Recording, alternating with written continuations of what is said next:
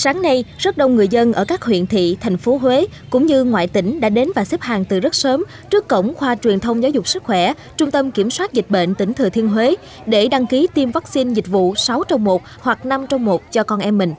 Theo ghi nhận, lúc 7 giờ sáng ngày 8 tháng 5, một đoàn người rồng rắn xếp hàng dài khoảng 500 mét trước cổng trung tâm trên.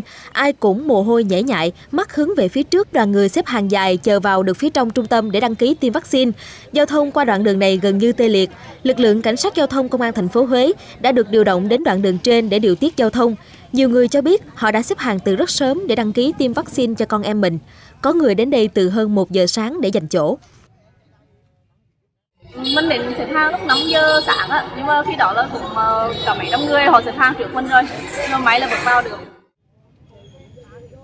Đến khoảng 7 giờ 30 phút, phía trong trung tâm bắt loa thông báo là đợt đăng ký tiêm vaccine này đã hết và mong mọi người thông cảm vì số lượng mũi tiêm có hạn. Hàng dài xếp hàng bên ngoài lúc này mới thất thểu bỏ về trong sự thất vọng, xen lẫn bực tức.